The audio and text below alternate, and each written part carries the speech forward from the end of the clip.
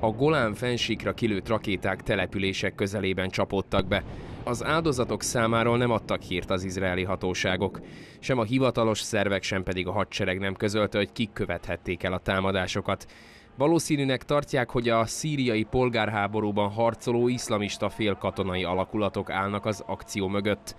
A szíriai felkelő csoportok állásait a nyári hónapokban rendszeresen lövette az izraeli hadsereg, megtorlásul az izraeli területen végrehajtott kisebb akciókért.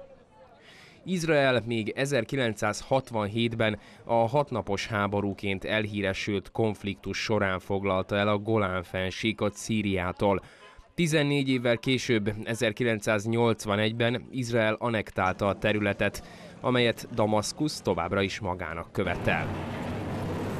Vasárnapra virradóra folytatták a légicsapásokat Izraelből is. A légierő egyebek mellett elpusztított egy hétemeletes irodaépületet, amelyben a gázai belügyminisztérium egyik irodája is volt. Nem sokkal korábban egy 12 emeletes lakóépületet romboltak le.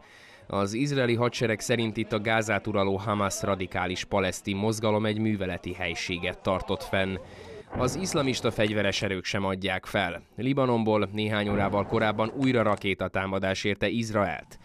Független nyugati szakértők és a politikusok sem tudják egyelőre, hogy mi lehetne a megoldás a szűni nem akaró erőszakra.